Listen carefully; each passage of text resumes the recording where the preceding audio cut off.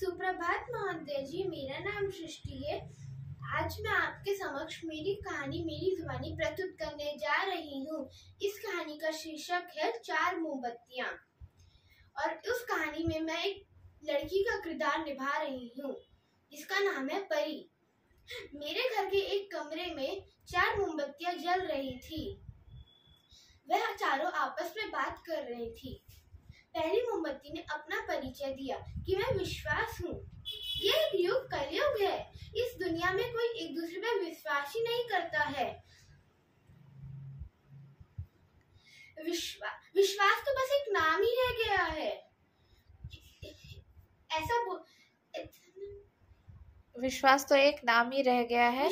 हम तो जिस पर विश्वास करेंगे वह हमें हम जिस विश्वास तो बस एक गया है। हम जिस पर विश्वास करेंगे वही हमको सबसे ज़्यादा पीड़ा देगा।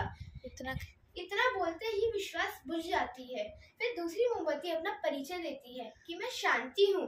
इस दुनिया में अशांति है। भाई भाई दोनों आपस में लड़ रहे हैं। एक दूस एक देश दूसरे देश से लड़ रहा है। या तो मैं रह सकती हूँ या तो अशांति रह सकती है। हम दोनों साथ में नहीं रह सकते। इतना बोलते ही शांति भी बुझ जाती है। मोमबत्ती अपना परिचय देती है कि मैं प्रेम हूँ। प्रेम तो लोग प्रेम तो सिर्फ़ अपने स्वार्थ के लिए ही करते हैं।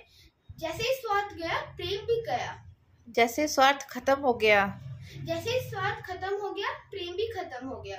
जहाँ भी विश्वास और शांति ही ना हो वहाँ पर प्रेम कैसे जन्म ले सकता है? मुझे जन्म लेने के लिए दूसरा युग। मुझे जन्म लेने के लिए दूसरा युग।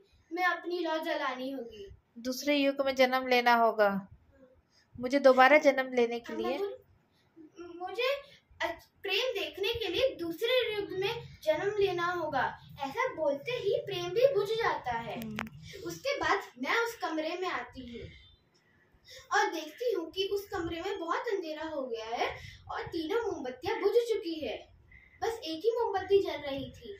जैसे मैं उस मोमबत्ती के पास गई उसने अपना परिचय दिया कि मैं आशा हूँ।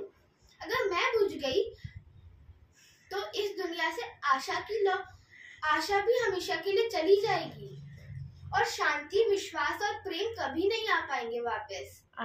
अब मैं कसम खाती हूँ। अब मैं प्रण लेती हूँ कि अब मैं अपनी आखिरी लौ तक लड़ती रहूँगी और हमेशा आशावादी बन के रहूँगी।